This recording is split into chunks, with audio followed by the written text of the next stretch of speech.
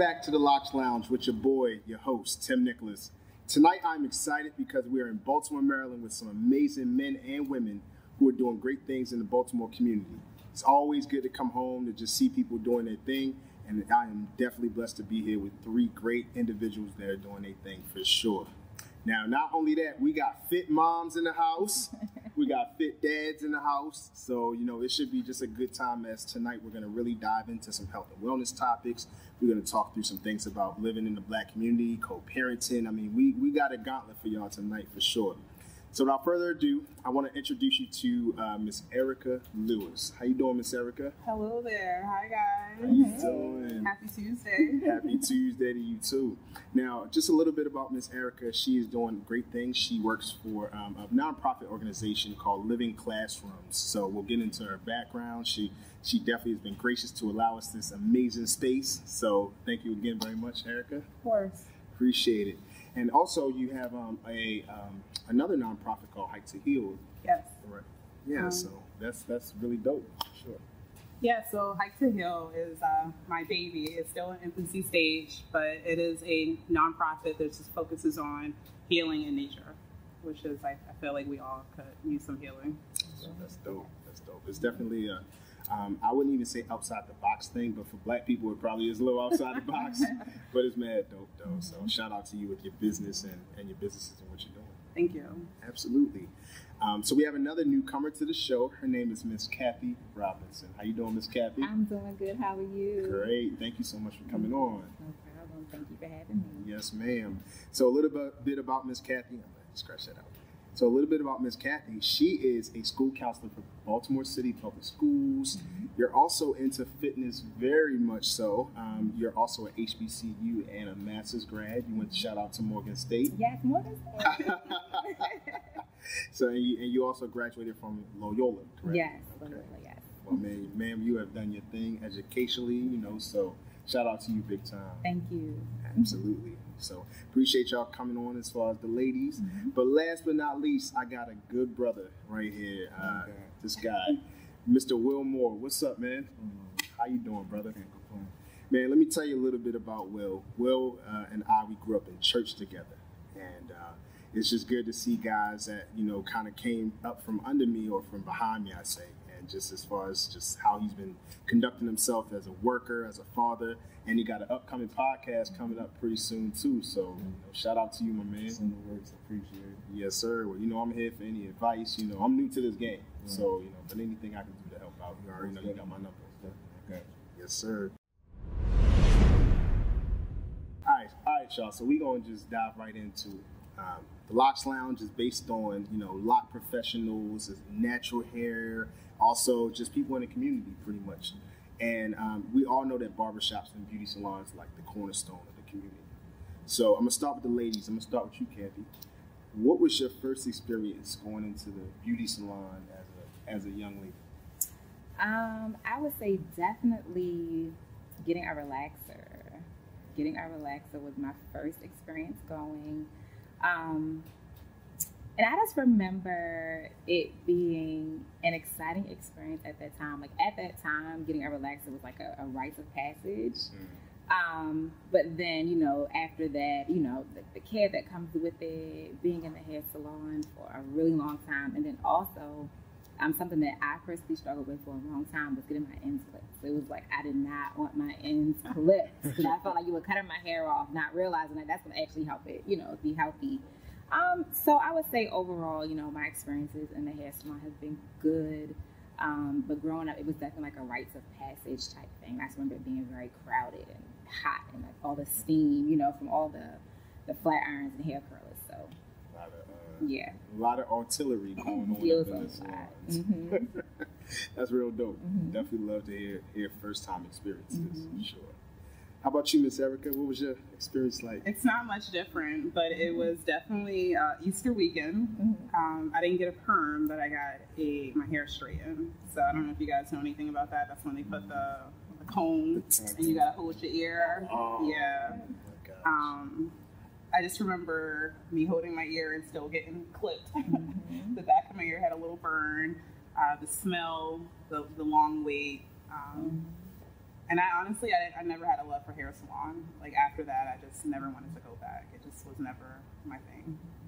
So your experience was not an enjoyable experience. It sounds like. No, I, I think even back when I was like a little kid, I, just hearing the talks about hair and how much pressure it was on like black women to like keep their hair a certain way, I just was always a rebel. So I'm just like, nope, I don't want to go. That's real. That's real. Well, you know, sometimes those experiences, they like, yeah, uh, I'd rather do my hair at home. Mhm. So uh, I, can, I can understand just, you know, being in, you talking about being in a hot location just with all the sisters and the stuff going on and The heat, chemicals. chemicals. Yes. Chemicals.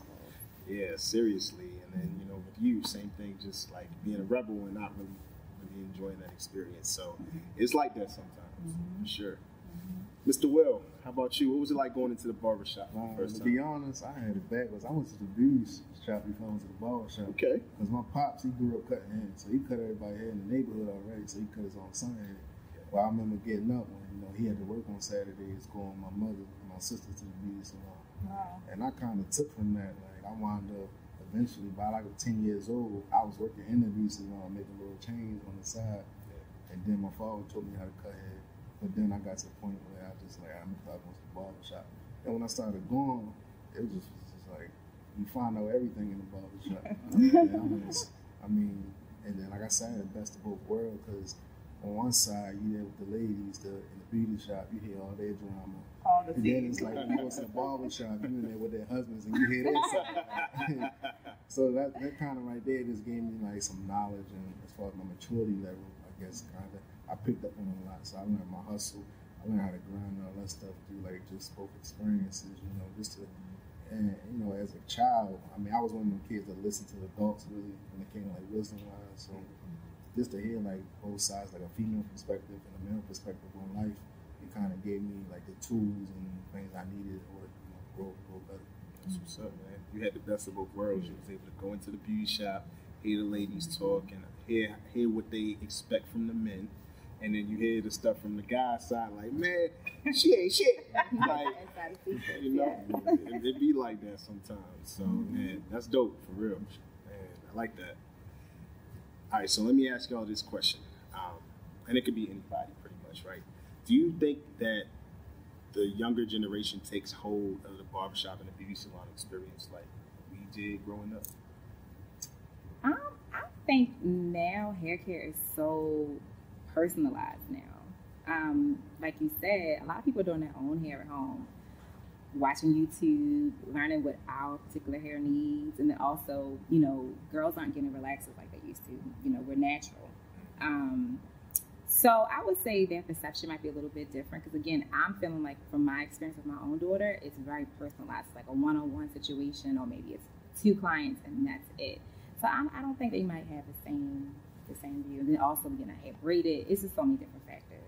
I definitely think salon suites have changed like the Mhm. atmosphere of like what we grew up seeing because like the tea that you get in a salon suite is completely different than you sitting under the dryer and hearing you know people talk about their marriage and church the next day Mhm. and stuff like that. And I, I think also like the younger girls, which I find is beautiful, they're not running to perms. You know, they're learning how to actually like Take care of our hair. take care of their hair, Mhm. um, watch YouTube, and Mhm. you know, save coins and things like that. For me, I go to the barber shop now, Cousin Vite on Emerson Avenue. I go down there. There's a younger cat that owns the barber shop. My cousin, my personal cousin, he works in there. And they all been like a little more like it's three of them. They've been together for like years now. So they just they more so into like you know we starting here, but we gonna build further. So everybody, young man that comes through the shop, they got a guy in the back that does tattoos now. They got a young lady that comes in that does her hair in another room. So he's trying to open up, you know, different suites and stuff, and helping people that have talent and do these things, giving them a safe place to work. So when other people come in, I, I hear it all the time, like the young generation come in and they um, ask some questions and stuff like, "How you get this? Oh, this is crazy! I never seen somebody get age or something like this." And you tell them like gotta keep it, how to keep it going, what it takes to even get to this point. So I feel like now it's kind of like well, back in the day when I used to go to the barber shop, the older guys were just you know talking about everyday life. Where I feel like now, based off of their conversations, the younger generation like we picked up on it. So now we want the people underneath us to do the same thing or even do better. Yeah, that's real. It is, and that's the that's the difference from back in the day. Like it was everyday life, talking about the struggle, the grind, but the hustle. And I think now, just from my own personal experience, it's not as the same in my opinion because you have like a lot of lot, a lot of times barbers are just trying to make money, trying to just you're just trying to make the money as opposed to really having a personalized relationship. And I think that's still important. Like you're still in the people business, Mhm. so you still got to make sure that you are conduit to the community. You're still talking to people, still wanting to know about them because at the end of the day, you're building that relationship. So I like. I, s- I think it still has some of an impact, but I do think that even with the the new idea with the salon suites now, YouTube videos, those like, types of things now, it makes it a little less personalized. 2022. Mm-hmm. It That's how changed is. a lot. It changed a Those lot. booking fees. I know, right? Yes. Absolutely, absolutely. So, Miss Erica, can you Yes. please tell us a little bit about yourself? Okay. Crap. Um, you're gonna edit this, right? Okay, cool. Um, so I am a Baltimore native. Uh, I've grown up uh, in Baltimore majority all of my life. I, my family is from Patterson Park area. Uh, my mom moved out to Pikesville, so I kind of had the opportunity to see both sides of like city life, um, and then I was kind of nurtured in the suburban world. Um, I have a heart for people, um, whether it's like I felt like growing up in church, I used to think that was the only way to serve. Um, but now that I've gotten older, I've kind of realized like you can serve in your capacity everywhere you go. So like my heart is for people. Um, I have children um, that I absolutely love and adore, and I love being outside in nature. I love being a, a vessel for people to heal. Um, a lot of the times when I'm walking outside, it's like therapy for some of my girlfriends. Like we talk more about life outside than we probably do over the phone. So that's a little bit about me. It's dope. I love it. I love it. So, you know, let me just first start off by saying this. I hate hiking. Remind me again. I'm sorry. it's not that I dislike the idea of hiking. It's nothing like that, right? I just have asthma. So how it makes we can get you like a one miler, you know, like a lower incline. It doesn't have to A be lower anything- incline? Yes. I, I think it's dope to do nature things. Mm-hmm. Definitely to, to be out, you know, camping trips, hiking, you know, mountain climbing. That type of stuff is cool. I mm-hmm. think it's really dope. But, um, you know, I would say in my spare time to be doing it, I'd probably rather be hooping. I mean, I'm in. Mm-hmm. I'm in. But I love the fact that what you're doing is bringing the people together from a health perspective, right? You're allowing people a safe space to do something different, and you're enjoying nature at the same time. And I think that one of the considerable benefits to hiking is that it does it it really does boost your morale as you're as you're you know having physical activity, taking that physical activity to another level, being challenged. It's really like really making your body feel better in that aspect. So, what are some more considerable benefits that you've learned about since you started hiking? So Cathy and I actually, you joined one of my hikes before. Um, I feel like it's a, a major team building activity. Um, like there are a lot of the times that I've gone hiking and met up with strangers, but like once the hike is over, I feel like we all like have this bond. Um, also, I just from a personal perspective, it teaches you that it's possible to just finish. You know, like I'm a start to finish kind of person. So like if I'm looking at it and I know I got three miles left, I'm going to finish the hike. Like I'm just going to finish. And from a like a spiritual perspective, I feel the closest to God when I'm outside. You know, mm-hmm. just to kind of like look around and know that like, wow, like look at the trees. You know, mm-hmm. like everything around you. Know that you had no doing in making any of it. It's just, it's a beautiful feeling. Mm-hmm. Yeah, it's real. Well, you also threw Cathy's name in this too. It sounds like she does some of the same Yes. things. So, it's is it similar to that? Yes. Of Erica? Yes, I would definitely say it's very similar. So yes, that was some time ago. Yeah. Yep. A couple So years would- ago. hmm Yes, I would say between Erica and another one of my good friends, they kind of introduced me just first, like you know, just the nature trails, and then you know, bring it up a little bit. But for me, I would say the same thing. It it really aided in you know clarity of mind. You know, being outside, bringing breathing in that fresh air, and just like letting everything you know fall off of you. Um, so that's really you know why I do it. You know, just to really It's quiet. it's quiet. You can Go at your own pace. Mm-hmm. Okay, okay. Y- y'all are convincing me a little bit to I'm just try. saying, you just haven't been on the right hike. That's all. Will you ever went hiking before? Yeah, I went hiking like last time I did. I did like three times, but it was the same trail. It was in Catonsville somewhere. Okay. Yeah, I, I enjoyed it. You loved it, right? Yeah, I enjoyed Exactly. it. Feet was a little tired, but I, enjoyed. I mean, I'll do it again. I think like like when I work out, I like to test myself. So I think once I accomplish something, I want to do something better. So Yeah. next time I go hiking, it's gonna be a longer trail than I'm used to walk. You got two ladies in here that that I can go. take you to the Billy Goat Trail. Oh, It's- yeah, that's a nice one. it's Mm-hmm. get your heart Oh, moving. those smiles. That's it. Yeah, it seems like you about to get set up. well, I got a question for you, Erica. Um, there, there tends to be like a considerable gap Mhm. of individuals, preferably African Americans, that would rather do things inside, right? Even if it's going to the gym, even from a physical aspect. Um, why do you think that hiking lacks di- diversity and inclusion? So I think it's really perception. Um, like I grew up in a in a childhood where my grandfather, like he didn't have a lot of money, um, but I didn't really know it because all of our activities required something to do with being outside. So it was either he would take us fishing. Um, I learned to play tennis and golf, um, and these are things that we would do after church. So it was like I look forward to like my outdoor time because it's like the only thing we had.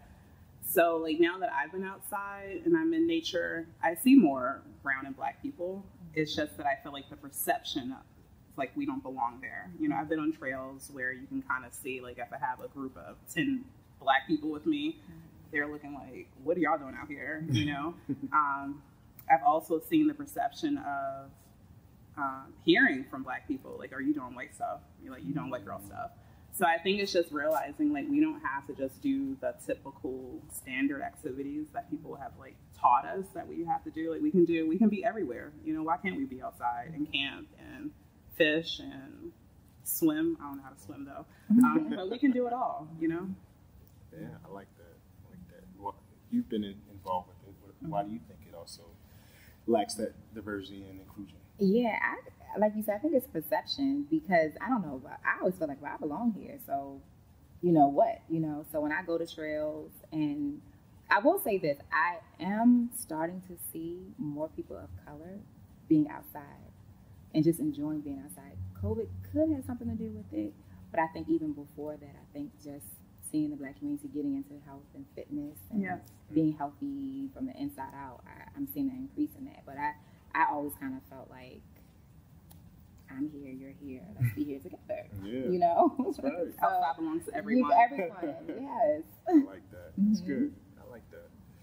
Well, you both are moms, Mhm. you know, and um, and Will's a dad, you know.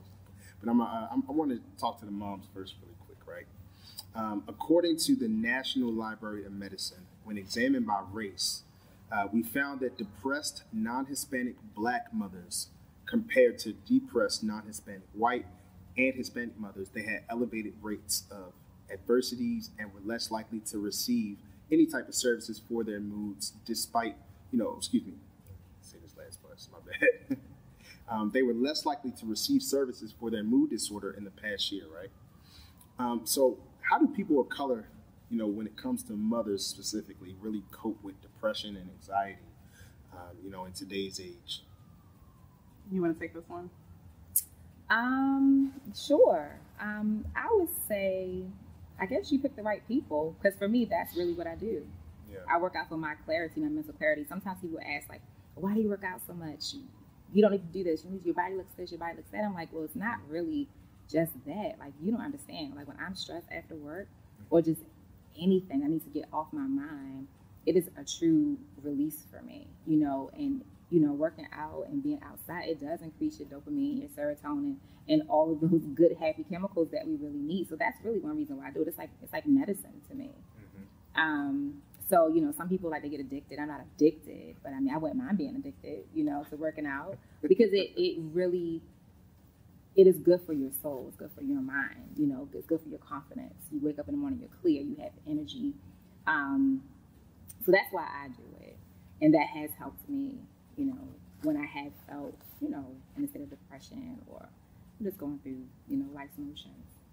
I, I think if I could jump in, I would say that like women of color, I'm not quite sure if our community actually know what depression is. You know, actually know like depression, anxiety. Mhm. Um, so like I may see people, and I can clearly tell from the outside, and like, oh, she's depressed.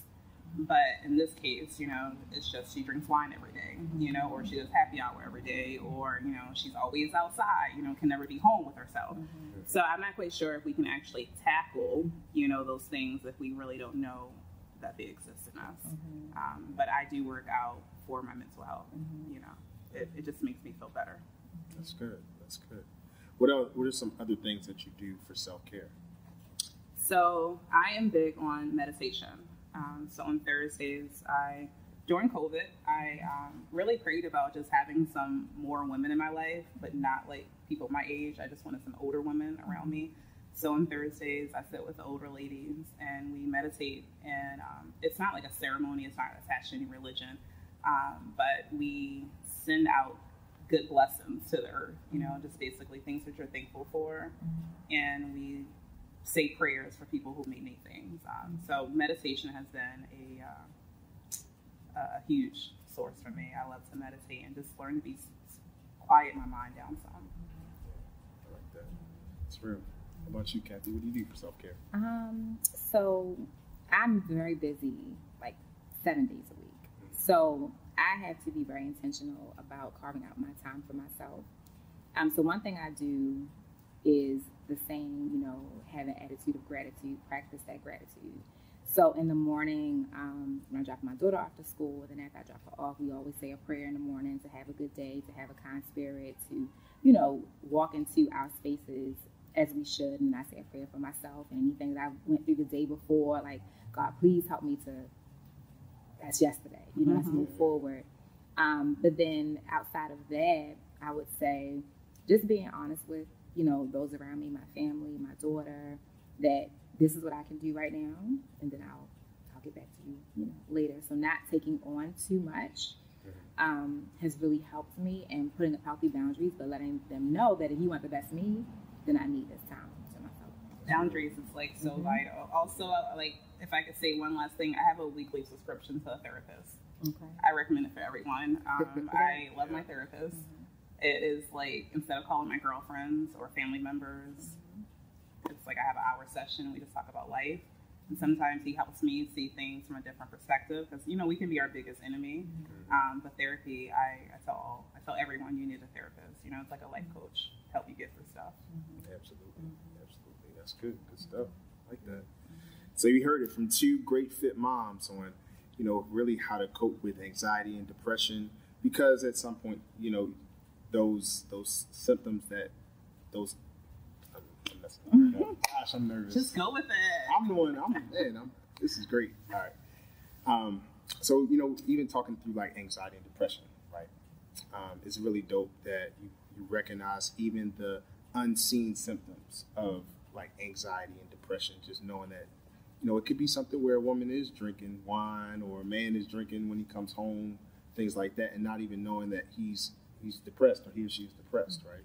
So it's good that you can call those things out and, and kind of recognize it, and also just knowing that boundaries is mm-hmm. extremely important for your self care. Mm-hmm. A lot of times when we're, we don't have boundaries or have weak boundaries, and people just can take advantage of us and you know um, manipulate us as well.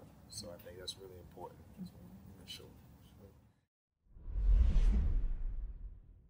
Mr. Fit Dad. So we're gonna talk through uh, some things when it comes to even being a father, right? What's what's one of the most stressful things about being a dad?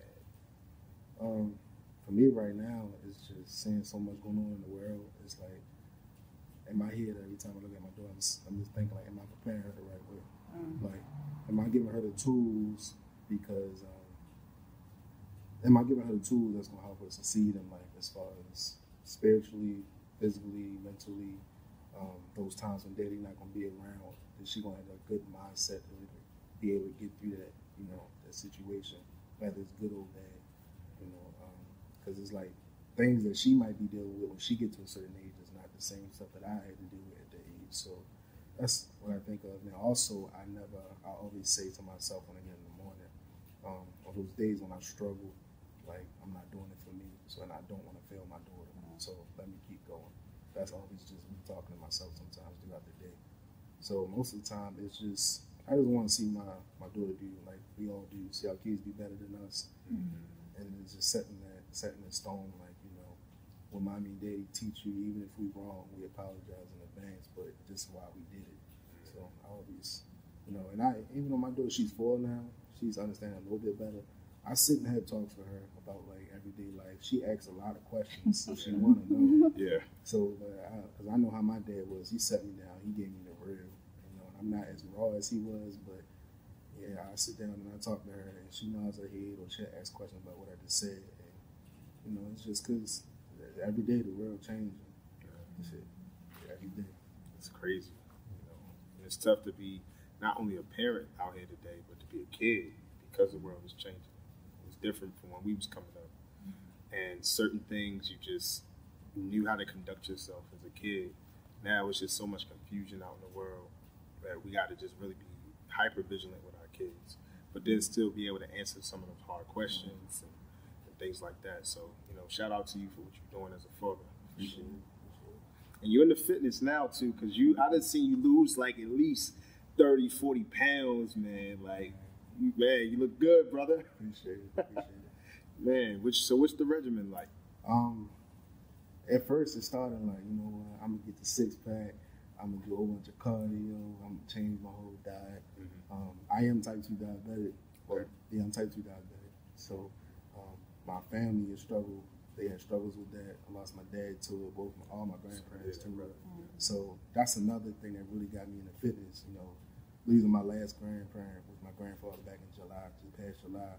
I just I went into that depression mode. You know, losing my dad in 2016, lost a cousin that same year, lost that same. My dad was October. My grandfather was um, Christmas Eve of that year. So then turned around, you know, then during, COVID, I lost aunts and uncles. Then lost my grandmother. Lost friends to street violence. Then buried another friend, and then a week later, my grandfather. So I just started like mentally shutting down. Everybody around me and then last year was already a tough year dealing with last year. So I just thought everyone around me that was loving me, I just started pushing away from me. So I was just like, I need an outlet. I need an outlet. I know I like playing football, but it was like it's just too many people involved, you know. So I just started going to the gym. Um, like I said, it started off as a cardio, you know, just go in, try to lose weight. Started losing weight, but I'm just like, you know what? Let me start lifting. I started lifting. Next thing you know, I'm on the bench. I'm 275. I'm like, okay, let me keep going there. so then I met some other partners at another gym. They like, why don't you just enter a contest as amateur? So I went up to the amateur event in um, Delaware back in like October, I believe, and I placed out of 200 like 82. That's what's up. 82. So I'm like, you know, I'm gonna stick. I'm gonna stick with it and keep going. Then you know, then I start learning the sport. So I learned, you know, the bodybuilder side is the side that everybody see. You know, they see the the rip abs and all that stuff. And I'm like, no, I want to go to the other side. So, so I'm more on the strong man side now. But when I go in the gym, I zone out. Yeah. So like I know when I first started, um, like I said, I was in depressed mode. So it was times where my gym was open 24 hours. I would go at night because I know sometimes I just wanted to go in there and lift and cry. Mm-hmm. You know, even though to other people he just sweating, I was crying. There's times when I go in there, like I like to have my music on. I turn on Sunday Sunday service, it's zone out, and just kill it. And then you know, I just start building like building a routine. Then I start realizing now, you know, over time, I'm doing two of these. You know, I gotta be to work at six. I'm getting up four o'clock in the morning, get off work at two, go to the gym again. You know, and then my girlfriend times like, you need to slow down, you need to slow down. But for me, I felt like burning myself out and getting that energy out of me the best way I could. You know, I start feeling better. I start wanting to do things more to the point now that it's just a routine now. I'm not doing two of these no more, but but now I'm like more so all into the heavy lifting. I go and do about an hour cardio, and the next week get into it. So That's what's up, man. Yeah, man. I've seen your transformation over the uh, you know over the course of several months, and I was like, man, you motivate me to go hard. Seriously, and when they and piggyback when they said work working out outside, Yeah. I went down to Miami. I did not intend to, but I seen the gym on the beach. I, I wanted to do that so bad. I did it, and that was probably the best workout For real, Yes, man. I, I'm gonna have to check that out on the beach though. Yeah. I hear Tulum has like the same type of thing where or something similar. And to they got like natural weights down there. natural weights. Yeah. So y'all won't hike, but y'all will pick up. I'll do it, but y'all, I'm gonna catch up with y'all. Y'all get ahead of me. Seriously. yeah, I'll catch up with y'all in a bit, you know. But I'll, I think I, I'll try the hiking thing. Next time I come Yeah. to Baltimore, I'll try it. Thank you. That's will that work? Yes. All right, cool. So as long as you do it too. I got you. so all four of us going hiking. Yes. That's what it seemed like. all right, so we're gonna get into Miss Cathy a little bit. Miss Cathy, tell us a little bit about yourself. Oh, okay. Um, I am a educator, so I'm a school counselor. So um, I've been in Baltimore City Schools for this is coming up on 14 years, I believe. Wow. I know. Um, so I've taught pretty much all grade levels, and then I went into school counseling um, my fifth year um, of being an educator. Um, so I love children. Um, I want to see our youth be everything that they can be. Um, I went that path because at the time when I started, my daughter was very small. Um, and I saw that, and I taught young kids at the time, I taught pre K and kindergarten, and I saw that we were trying to force the children to grow up too fast. They didn't, they needed, you know, a lot of emotional care, they needed a lot of nurturing. That we were just like, no, you have to sit down, you have to, you can't move, you have to write your name in two weeks, you know, just Mhm. things that were unrealistic for little kids. Um, and then also I saw, you know, some of the parenting at the time, and I'm just like, I don't know if that's the right thing to say to a four year old. Um, and then at the time, I'm young, and I'm like, what is happening here? So, um, my passion for children and seeing them grow and seeing them be the best versions of themselves and pouring into them. So, I give that to my students and I give that to my daughter. So, I'm a counselor. Killing it, I, killing I it. love people and kids. Well, you definitely seem like it. It seems like it's the perfect role for you because you're like one of the most friendliest people I know. so you de- it definitely fits you just being a people's person and things like that. So shout out to you for that. Thank you. So let's talk about you know co-parenting for a minute. Mhm. I know that you are you're is it um, single mother, Um, single-ish mother, Um, I mean, depends on what you call single. um, I would say single-ish. single-ish. There you go. Okay, so single-ish fit mom. Yes. All right, so being with, with co-parenting at least, Mhm. right? Um, what are some ways that you can make life easier for the other parent as or and yourself as you guys strive to keep the chi- the children's needs at the root of the relationship? Um, I would say to make it easier, it's just like a meeting of the minds. You know, keeping the child in focus and remembering that we love this child. And I think that that has been the most helpful thing in making it easy because she's our common goal. Mm-hmm. we want to see her be everything that she can be in life. Um, but outside of that, some practical ways, you know, just being flexible, um, agreeing. Sometimes we might not want to agree. As parents, we have to be on one accord, even in different households. Right. Um, that has definitely helped. Um, and also, from the parent perspective, I would say, you know, forgiving, letting what happened or what didn't happen, letting it go. Because again, we have a child that was created in love at the time. Mm-hmm. So let's keep that there with her. So that has been the most powerful um, aspect of co-parenting for, for us. But I would say flexibility, being open, cooperating with one another, agreeing to disagree, and just being on one accord has helped the most. I like that. Mhm. That's good. That's good. So, so you're approaching forty pretty soon. Is that correct? No, no. Well, you know, Miss Fit Mom approaching forty. You know, I think that's a really great thing that we were just talking about. You know, how to stay fit. Um, but I want to know from your perspective. You know, how do you stay fit? You know, into your, while you're approaching your your forty, your forty at this time. Um, let me see. Working out. Um, just making my schedule. Um, I would say, I don't know, it's something about, it's like every generation. You turn 20, oh, I'm 20. you turn 30, and it's like, oh my God, I'm about to be 40. It's like a totally Apply different. pressure. It's like pressure. But I would say the older I get, the more comfortable you know, I am with myself, and I would say that you know more confident. Um, so for me, it's more just about maintaining my health, um, so that I am able to be present with my child and to interact with the world. You know, and to just really be my best self. You know, sometimes I know when we were younger, we thought 40 was old, you know? and I'm like, I'm not old. What do you mean? Um, so just, you know, maintaining myself for myself, you know? So like, as you mentioned, you know, like the different stages of working out. First, it starts with cardio, then you go, you know, you find what works for you, you know. And so for me, definitely weightlifting. I love lifting too. Mm-hmm. and I'm so glad, like now, um, with the, I guess you want to call it beauty standards or whatever you want to call it. I'm so glad, like being skinny is not the thing anymore. Because now it's like, you know, you can have a body and it looks good and it's natural and it's kind of no fits, you know.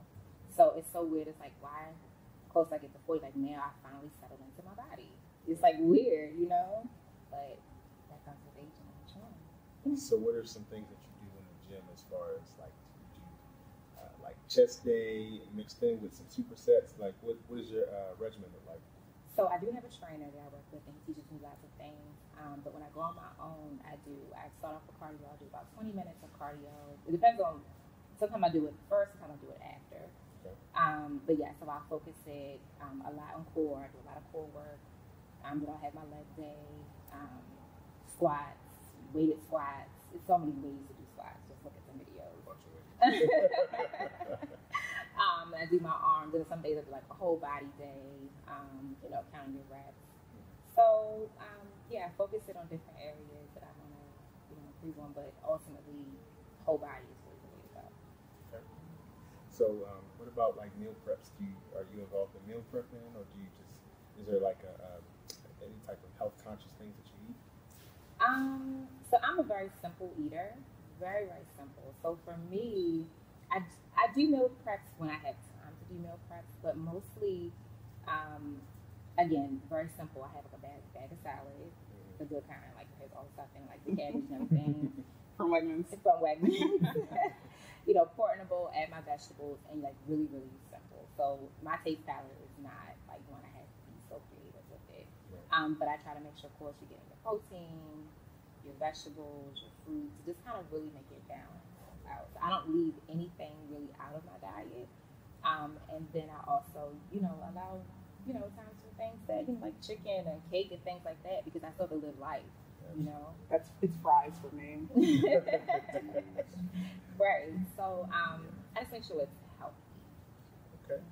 Yeah, uh, I love how you said you know, meal prep when you can because mm-hmm. you said you're busy seven days a week, mm-hmm. so meal prepping is probably the last thing you're thinking mm-hmm. about. But mm-hmm. still being able to keep in your proteins, your vegetables, and even your snacks, the cakes and things like that. Like we, are not competing for anything. Right. We're just having a good time trying to just build our body up, continue to build it up. So, so that's a good good regimen. I like that. I'm gonna ask. I'm gonna ask you, Will. What do you? Uh, how do you meal prep, or do you meal prep or anything like that? Um, at first, I started how she you know, the salad and all that. But then as the more heavy I lift, the hungrier I get. Yeah. So, and with like with my new job, like I'm, I'm supervising over a certain region, so I'm on call all the time. Okay. So there's gonna be them times when I'm not gonna have a chance, you know, on a Sunday to make sure I have those for the whole week. So most of the time, but my diet is always the same. It's a lot of protein. Um, I do look at a little bit of fruit in there, but I like vegetables. Like I was going to do that. I love vegetables. So I can eat like steamed vegetables with a slice of salmon, or I can eat steamed vegetables with some fish or something like that. I'm not too big on fried. I think the best thing in life that was created was an air fryer. That is my that is my best friend. Yes. Like, but I found out I didn't have to go and I know how to cook, but just standing over grease and making a mess, I'm like, yes. Then I realized how much um, healthier it was. Like, so that that helps a lot. But most of the time, it's seafood and vegetables for me And in the morning, I might eat like five eggs, five, five, or egg whites, depending on how I'm lifting. And then um, like my snack the other day, to be honest, is a spoon of peanut butter. Not the job. That's how I get that. So it's not too bad. And then also you being diabetic, but it's been helping as far as like keeping my levels and stuff. But I never even as a kid been a big snacker. I just have I'm a sucker for key lime pie, but that's something you gotta purposely go out your way and get. Yeah. So really, the only time I get that is if I'm in the grocery store just having to see it or something. But So uh, as far as my diabetes and stuff, all that that's under control. So I just at this point I don't want to like mess up anything. So, so like that, man. Like that. Last but not least, Sarah, what, what are you doing to stay fit?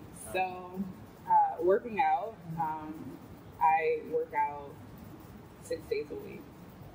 I, I do the morning shift, so I'll go to the gym by like 5.30 in the morning. I have three-year-old twins, so I have to do this while they're asleep. Then I come back, I shower, get myself dressed, get them ready, and I go. I function well on routine. So for me, Sundays is like my prep for the week. I meal prep, at least if I can get three meals, because I'm not gonna like go hard and just do like everything, but if I get like three good meals done, that lightens the load for me. Like when I'm coming home and I'm like, okay, that's one less thing I have to do. So that helps me. But for the weekends, it's definitely brunch. Like I, I don't even live by schedule. I'm eating waffles and chicken and fries. But I'm good throughout the week though. Okay. So you guys all have a good, different type of palate going like, it, I had a salad before I got here, and it was like the best salad ever. You know, I love eating salad for whatever reason. You know, salad is good. It depends on where you get it from. I was gonna ask you. Man, it, have y'all been to the spot Columbia Mall where they it's like right by the food court and it's on the end right where the entrance is and it's I know you're talking about that's the Cinnabon. Yes. Not that to the That's it. but you got to like sweets. You talking about the you cinnamon? smell the Cinnabon, but you're looking right at that because it's like an L shape. So you see that first. I know Yeah. exactly what you're talking about. I, got some, I eat a lot. Sometimes I get wraps from them. Yeah, we got good wraps. That was like nostalgic being there today and just getting a getting a salad from there. It's- it's. But but I'm I'm a sucker for sweets. Any of my friends that know me know me that I love like sour patch kids or sour gummy worms, you know those types of things. Like sorry. I like tart sweets. Yeah, I, I will literally sift through a big bag in like. So I need I need to chill out. Yikes. I know, right? The sugar rush is real. so I want to touch on something a little serious though, um, and it's based on something that's really important that we, we're talking about and more when it comes to mental health in black community, but it's mostly around transgenerational trauma. Um, transgenerational trauma refers to a type of trauma that does not end the individual. Instead, it lingers and gnaws through one generation to the next. So, families with a history of unresolved trauma, depression, anxiety, and addiction, it may pass, you know, from one person to the next the child, the grandchildren, and what we do is we have these maladaptive coping strategies and distrustful views of life onto future generations. Um, in this way, one can repeat the same patterns and attitudes of former generations, regardless of if they're healthy or if they're not healthy. So transgenerational trauma isn't something that can be easily pinpointed. It's often covert, it's undefined, it's subtle, and it surfaces through family patterns and forms of hypervigilance, mistrust, um, and it really hits at self-esteem in a big way. Right? So, Cathy, I'm gonna start with you. Um, what are some things that you've seen in maybe your own family to where transgenerational trauma has been passed down from one generation to the next? Um, in my family, it would definitely be in very common in the black community where you had, well, you know what, divorce. Mm-hmm. I've seen divorce. I've never been married, um, but my parents were married. But seeing them be get divorced, then my mother became a single parent, and I've seen that with pretty much every one in my family. So we have a strong presence of women, um, and our men. They're not pushed to the side. They're just not. It's like they internalize what has happened, and then they, they were not present um, in our lives the way that they could have been. And not dominant. Not dominant, dominant. Yeah. So what I mean by present, I mean more so like um, emotionally present. Financially, stability wise, yes, but emotionally and building that connection. You know. Um, so that's where I've seen it manifest in my family, not just with my mother, but with like my cousins and my, you know, my extended family. Yeah, uh, divorce is a huge transgenerational trauma. I mean, that gets passed down, you know, from one one generation to the next. Um, I've seen both of my parents get divorced, married, and, and that passed down to me because I've been divorced as well. And I think what it stems from is it stems from the lack of knowledge, number one. Um, and then the, the trauma comes when you see these negative, toxic behaviors and you think that those behaviors are normal. So, and, and then you have to think that there's there's a scientific situation that's going on as well because your brain now, your brain doesn't even function from a normal, you know, a, a normal mode of nothing more than survival. So now we have to figure out how to how to break the cycle, but also deal with the, the scientific aspect, the emotional aspect, the, the physical aspect, these things that ail at us all the time. So, and divorce is one of the hardest things that a person can go through. It's truly a death, you know, in, in that way. So I agree. Sure, sure. But you, Erica? So I was thinking, I was listening, but I was thinking, and I would say for my family, um, my dad's side is completely different than my mom's side of the family, and I didn't quite realize that until I got older. So, like my dad's side of the family, there is a strong male presence. Um, like they're actually in the kitchen. They're very nurturing men. Like they greet you with hugs and compliments, and they're at the table when we're talking, and they're very pro family. Um, however, that's not the side of the family that I was submerged in. I was submerged in uh, my parents' background story. They met when they were seven um, had me at 16, um, but they were so young. They never ended up together. Um, so the family that I grew up with mainly was my mom's side of the family, which was hyper independent. Um, the men were around, but they didn't have a strong presence. So I don't, I don't think it was until I got older that I had like a high appreciation for my dad's side of the family and the men um, because of how compassionate they are. Um, I feel like they that is the trauma though when you're growing up with just one side of the story you don't get the opportunity to really um, understand men and really understand the different sides of men have conversations with them so if you're really submerged with just one side of the story subconsciously you know you don't really have a blueprint on what to date who to marry you know who to be with and i feel like for a lot of women um, including myself and others when you don't have the, the blueprint you make subconscious mistakes, you know. But when you have really like the conversations with the men that you need in your life, you get to hear the stories and you understand, you know, who you're after a lot.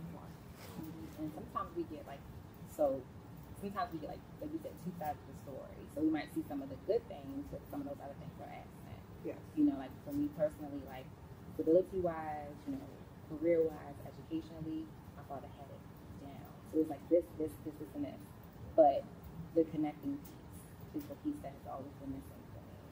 And it's something I had to go actively go after as of when I became an adult. Like, oh, Dad, like, what are we going to do today? I'm here, you know, let me give you some dinner. You know, I had to really build that relationship with them as I got, as I got older.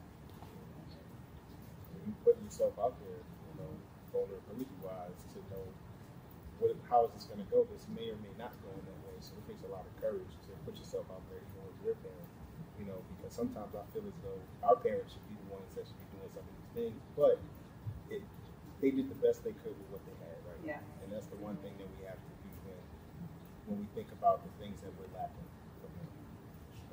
And I think we're the generation that knows better. So it's like we're the generation that's like actively trying to heal. Like we're talking about things like in today.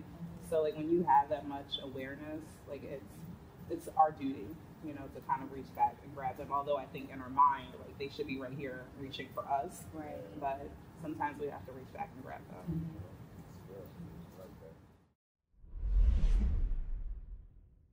All right, well, so how about you? What are some, you know, some traumas that you might have faced, you know, even family wise? For me, um, like I've always had men in my life, but the downside of that is they had traumas. Mm-hmm.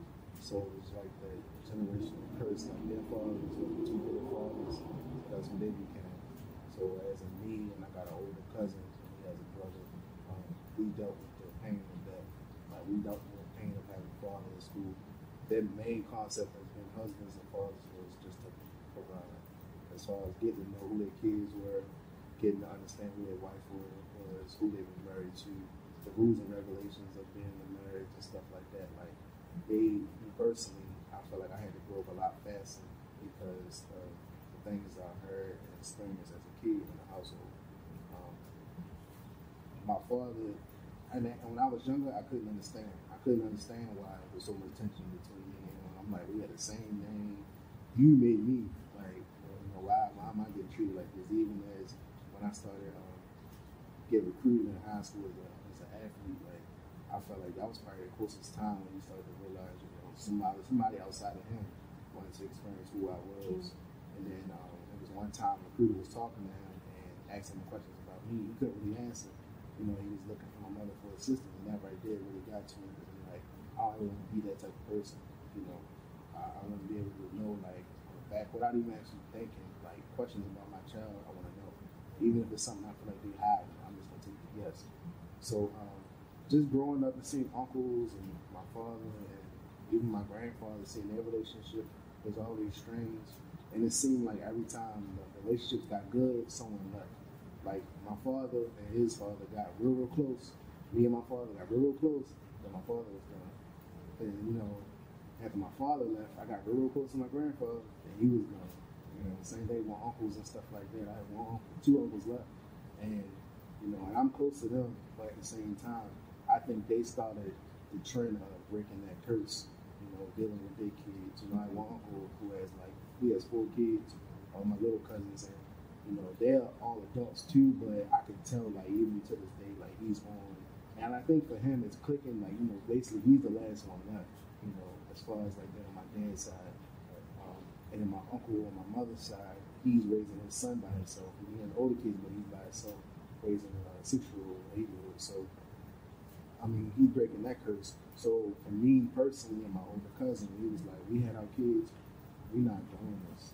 Like you know, we, we can't we can't be so. We've had like, actually a conversation. We, it was in times when we felt like our fathers were living through us. Like not too long ago, like I, I had to sit down with my cousin. Like I'm making the same mistakes my father. You know, not not not realizing what type of female I want in my life and being, being stable. You know, I'm getting into that mindset where all I want to do is work and make sure my daughter got a plate on the table. But am I actually taking the time out to realize, you know, what do I have in front of me just as today? So I had to fix that part of me, and that's that comes with a lot of black men. We don't want to fix ourselves. Mm. Like we want, we want the world to baby us and baby and just accept us for who we are. At the same time, we gotta realize we hurting people around us. Like I never, I never looked at it through that way. But then when I started seeing people like my mother, my sister avoiding me, um, or even down to my, my girlfriend at the time, didn't know what to say to me and stuff at the time, and other family members like don't invite him, you know, he a hot and stuff like that. And for me, I'm seeing it like y'all know I'm dealing with hurt and pain right now, but to them it's like you didn't even open up to us. So I went and got the, you know, I went and had. I never thought for an hour and a half I could sit and talk to somebody like that that don't even know me. Yeah. And so when I started doing that and started opening up more, I started realizing like I'm just basically I said I was gonna break the cycle, but really I'm doing the same thing over and over again. Like I was that I was that child not knowing how to approach my dad about certain situations because I didn't know how he was gonna react to it. You know, I was that child coming into a household where you know it was just a big argument because mommy over here, daddy over there. They ain't talked a couple days. You know why your mother crying. You know what your father done did. So now you thinking, you thinking, oh, I got to be a man in the house now. Mm. And you know, you and your father now colliding because now you're taking up for your mother. So I was just like, you know, stuff like that gave me trauma. So even now when I had situations as far as relationships, every time I would say something like that, I ran. I was like, I didn't want to do that. You know, I, I didn't want to put my daughter in a certain predicament, so I ran. Know, that's it. And I maybe that wasn't the best ideal thing to do, but at the same time, my trauma, my childhood, that's the first thing to quit because there's been moments when I was a teenager and I looked at my mother like, why did I get a divorce? You know, my mother was the type of person. I took a vow under God, like I'm gonna live through that. And when she did, my father died in her arms, so she was just there all the way to the end. Same thing with my aunts who, who, who lost her, like her husband got killed. She was there all the way to the end all that. And I'm like, I don't ever want to put a female in that predicament where I done put her through so much through the marriage, and she stuck by my side the whole time, all the way to the end. Now she left hanging, hanging, you know. So I was like, we gotta do something better. So me and my cousin, we talk. I go to therapy. I, I sometimes I just gotta go outside and take a walk, you know. And even I might do out my prayers and stuff, and I ask God to send me send me like some guidance, like send me like some some better role models and stuff. Even people, I'm not a personal relationship. Like I stick to myself, but you know, send me somebody that I can just look towards. But you know what? I know I'm doing kind of doing similar what he's doing, so I'm gonna keep doing. But that, that's the big thing. You know. That was refreshing, by the way. Man, refreshing. Dope, man. Man, I like that. And that's what we need as, as black men. Um, I tell I tell some guys that we need types of men in our life. We need a mentor, somebody that's willing to be there to show us the rope based off of their own experience. You need somebody that's walking alongside you, somebody that's on that same level. That way y'all can kind of relate, be able to bounce things off of each other and be there for one another. And then you need somebody that you're looking behind that you can pull with you as a mentee. So somebody that's looking up at you. And it, what it does for all three of those types of individuals is that it gives us motivation to better each and every day. Not perfect, but understanding that it's a process that we go into life and you know, really trying to break the cycle. And to break the cycle with us means that we're gonna have to go through a little bit more, a little bit more things because of the pain and, and the things that's been so rooted into that trauma. So it is important for us to go through those things and to get there in order to and talk about those things and go to the people that might have hurt us or wronged us and, and try to resolve those issues the best way you know how to do. So I applaud all of y'all for really having all of those things and, and really taking those steps. Um, you know, I just a little bit of background about me. Um, you know, my parents divorced when I was 16, and my dad was I had his name just like Will, you had your dad's name, and I just never understood why my dad hated me so much. It felt like he hated me because it seemed as though I was closer to my mom, and I had a unique personality, so I was able to connect with all kinds of people. I was more of a people person then that I'm, I'm, i feel like I'm still in, but this pandemic has turned my social anxiety up a notch like crazy. But you know, I was able to just always connect with people, and I felt as if my father just disliked the fact that people like me. Mm. And so know, the abuse would come in, the physical abuse, the, the gaslighting, the, all those types of negative things that you know that a child can go through, and that creates trauma, right?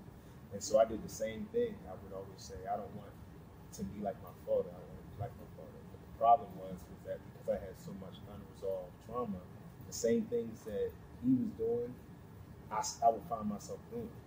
You know, and it would be it would even be situations where even from a biblical aspect where it's like where I want to do good, evil is present right there. So you got a decision to make. When you got trauma right there, it's harder to make the good decision, the better decision, based off of what's what subconsciously we, we are accustomed to doing. so I, I just think it, it, takes a lot of courage for all of us. You know, we all in the same boat in some way, shape, or form, trying to break generational curses. So I, I, I really applaud everybody for that. Um, one more question I have for you, Cathy, is how do we crush transgenerational trauma to create like a brighter future for our kids? So, going back to the conversation about divorce, I would say for my child, I emphasize the relationship that she has with her father um, because I want her to have that strong relationship. Now, granted, they're two different people, um, but you know, I reinforce to her the love he has for her, how she should be as a daughter, and you know, and what he does for her.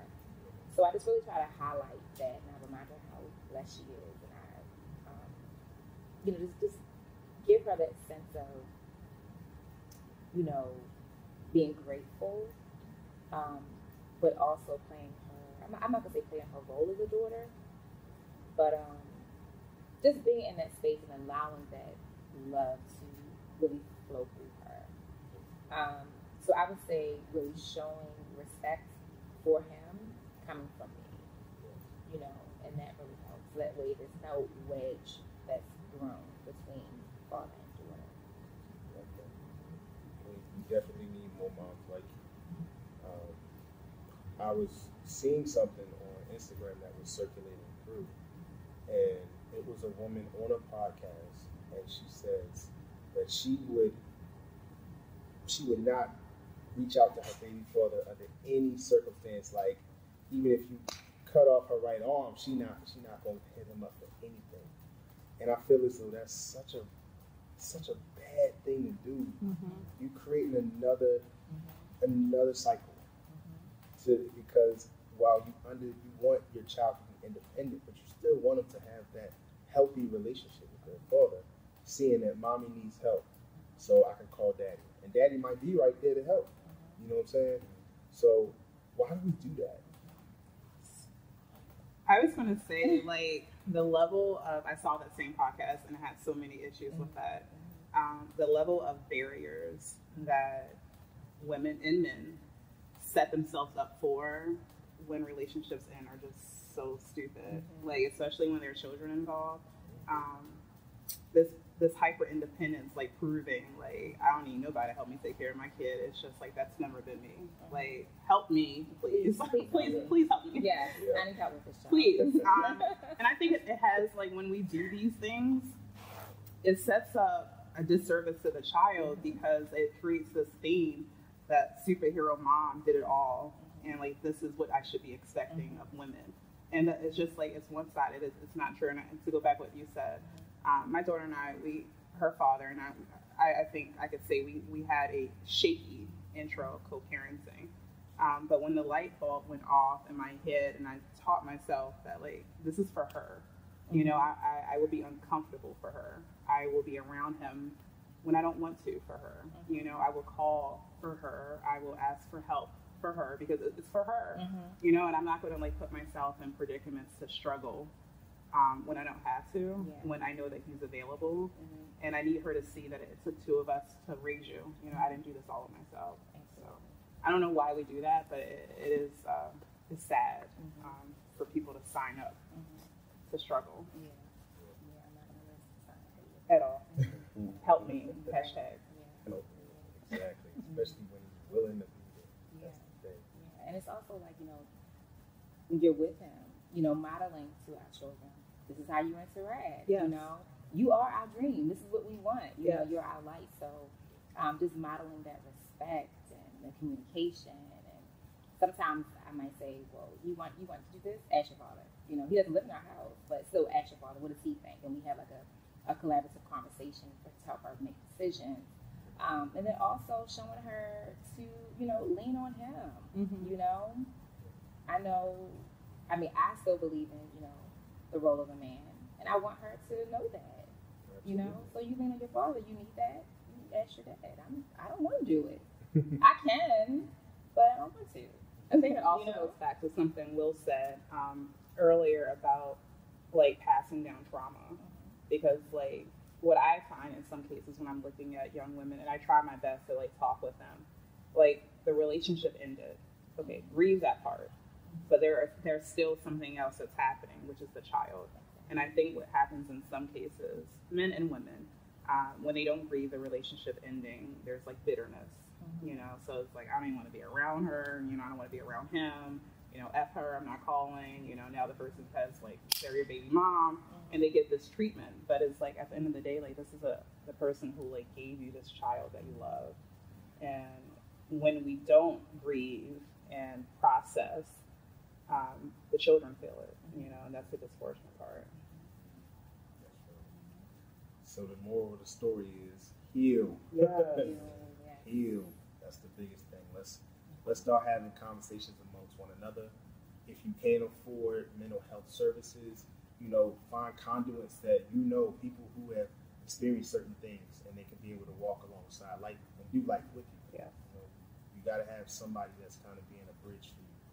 So I think healing is, is definitely been the theme for sure, you know, amongst us. You know, and, and we all still work in progress in our ways, but that's the beautiful thing about life. To be able to see where you were, allow God to groom you and, and mold you and shape you, and then you get on to another level, and then there's more challenges in that next level. And then you got to be able to navigate through it, find clarity, find peace through that. So y'all doing it up. Y'all are the real deal. That's the biggest thing that I definitely have taken from y'all. So appreciate that for sure. All right, so we're gonna jump into it. Um, we're gonna jump into in the chair. So just so y'all know, in the chair is a really dope part about the show. It's like our version of the hot seat, but with a little shot flavor to it. In the chair allows us to learn a little bit about our guests and have a little fun at the same time. So I'll pose a couple of questions to our guests individually, and they must answer them without explanation and pretty much within 30 to 45 seconds. Okay. So I'm gonna let y'all get at it. All right. So He's down. Tell Cathy she can't read the questions. you cannot ask, She cheated. cannot look at the questions, ma'am. All right. All right. So first up in the chair is Cathy. Okay. Are you ready? Okay. Idris Elba or Method Man? Method Man. Okay. yes. what is something that makes you uncomfortable? The first thing that comes to your mind. Um, I'm really. Really shy? I'm very bashful. Um, I don't like a lot of attention. All right. So she's shy. Mhm. Okay. We're gonna get back to that. okay. What's your favorite hobby right now? Looking out. Working out. Mm-hmm. Okay. Would you rather go to a concert or a comedy show? Mm. I can't do both. Nope. Um, I'm into concerts right now. Concerts. Mhm. Okay. What is something that men say that makes women angry? How old are you? How old are you? Mm-hmm. you? Don't ask that. oh, how much do you weigh? how much do you I weigh? get that one a lot. What? Cathy, how much do you weigh? Actually, how old are you has kind of been a compliment here lately because I get that a lot. okay. Yeah. So, so how much do you weigh? How much do I weigh? Yeah. Perfect. Uh-huh. Way too Uh-huh. All right. Um, skydiving. Sky. Get back to that. Skydiving or scuba diving?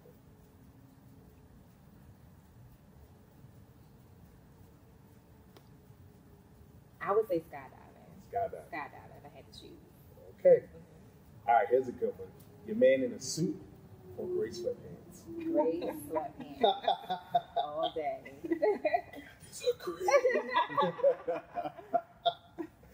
All right. Last but not least, what is your love language? My love language, um, definitely quality time Okay. and uh, physical touch. Physical touch. So quality time and physical touch. QT and PT. Got you. Thank you, Cathy. Appreciate that. All right. Miss Erica, you're up next. All right. Method Man or Idris Elba? I'm Idris. Idris. Team Idris out here. Team Idris. What is something that makes you uncomfortable? Oh, being lied to. Okay. What's your favorite hobby right now? I would say writing. Right? Yeah. Okay. Would you rather go to a concert or a comedy show? This is so hard. I could. al- I'm always down for a good laugh though, mm. so I'll go to the comedy show. Comedy show. Okay. Skydiving or scuba diving? Skydiving. Sky. What's something that men say that make women angry? Um,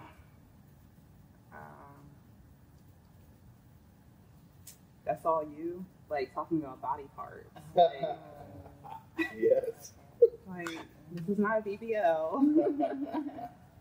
um, your man in a suit or gray sweatpants? I like a good suit. Suit. Okay. Yes. And what's your favorite love language, or what is your love language? So I'm quality times uh, well and words of affirmation. Quality time and words of affirmation. Okay. I like it. All right. Thank you. Thank you, Miss Erica. Would it do well? Oh wow. All right. Yes, Miss Will. Mr. Will. Excuse me. Mr. Will. All right. Um, Chloe or Halle? Dang. I'm trying. I'm trying to. Uh, Chloe. Chloe. Okay. What's something that makes you uncomfortable? Um, clutterness. I do not like junk. I need stuff to be organized. I can't think of clutter. Can't think of clutter. Okay. All right. What's your favorite hobby right now? Um, what would be the most? Cigars. Cigar. Mm. Okay. Cigar bar. All right. Would you rather go to a concert or a comedy show? Comedy. Comedy. Okay. What is one thing that women say that make men angry? I don't know about, well, for me, I hate when a female, first thing she says is, well, you must have all the leaders." I do not like that. Yeah. Mm-hmm. Assuming. Especially when you're trying to be the next. Don't worry about who I got. I'm trying to be the next. Don't worry about who I got. Let's just see if we make the cut. That's how. I- That's how. I Oh. feel, right? See if she gets off the roster. Yeah. That's the don't quickest like way. that. Yeah. Quickest way. Okay. Um, skydiving or scuba diving? I've done scuba diving, like an hour offshore Key West. So, so you scuba. think I'm gonna go skydiving. Go sky. okay. All right. Your woman in boy shorts or sundress? Mm. Mm. I'll say boy shorts because she got a sundress. She outside the house. Yeah. Okay. All right. Okay. What's your love language? I know I like physical touch. And, um, I don't, I don't know if it's a love. I like to show off my ladies. Like if I feel like I got something special, I want to show the world what she is. Okay. Whatever that might fall under. Phys- Physical touch, probably. nah, I like that. I like that. All right. All right. Well, appreciate getting to know y'all a little bit better. That was, that was dope. All right. Well, before we go, um, you know, here at the Locs Lounge, we are always living to overcome cultural stereotypes. So, you know, real briefly, would there be what would be one cultural stereotype that you have probably noticed that you want to overcome? I'll start with you. Um, definitely that that black people don't care about our health, about physical health. Um, that black women should be unhealthy, that we should be, you know, out of shape. That's Okay. Okay. What you will? Um, to be honest, it's okay to okay to love one another. You know, it's not. It don't always have to be tension between us. Like even if we agree to disagree, but at the end of the day, we still got each other. Because sometimes that's just all it comes down to. You know, just a talk or just uh, you know just a how by. Because I realize in a lot of situations, it's just mis- miscommunication, really, and that's just stopping the love between one another. Like that. That's good. What you got? So I think I'm learning just from like listening to all of us is like it's okay to do things different. You know, mm-hmm. even if we haven't seen it this way before, it's okay to be the first. You know, the first to talk about therapy, the first to be transparent with your children, the first to talk about forgiveness. Like it's okay to just be different than what we saw growing up. Yeah, that's good. That's good. Yeah, I think those are some good cultural stereotypes that we definitely are overcoming. We're getting better at, and we see it more on social media all the time. You know, there are so many success stories of fam- black families staying together.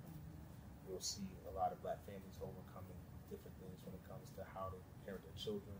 Like we're we definitely come a long way. You know, so that's a, that is a good thing we can see. So, um, real quick, you know, I wanted to make sure that the viewers know and our audience knows where they could uh, find you guys at. So, um, you know, we're going to do the Twitter handles and all those things. So, I'm going to go ahead and start with you, Erica. Where can where can everybody find you at? Uh, they can find me on Hike to Heal on Instagram. So it's Hike H I K E, the number two, and then Heal. Hike to Heal via Instagram. Sounds good. All right. Thank you, Miss Erica. How about you, Miss Cathy, next lady? Um, well, I have Instagram. It's Kit Kat Brat, K I T T B R A T T Brat. Kit Kat Brat. Um, and then also I have another Instagram ca- page. It's called Brickhouse Fitness. Um, I'm not. I can't remember the underscore or all that, but if you type it in. Perfect. Thank you, Miss Cathy. Last but not least, my boy Will. Um, find me on IG. I'm on there most of the time. Um, it's my middle name, Miles, M I L E S, and then the number three, R D, third. Sir, appreciate you, Mr. Will. Well, that's where you can find all of our great guests tonight um, on Instagram and, and their handles. So definitely look them up for more information, being able to connect with them um, just on Instagram and things like that. So thank you again very much for joining us here at the Locs Lounge with your boy and your host, Tim Nicholas. Please make sure that you like, share, and follow the Locs Lounge podcast on IG, Facebook, Twitter, and YouTube, where we are living to overcome cultural stereotypes. Be blessed. Have a good night.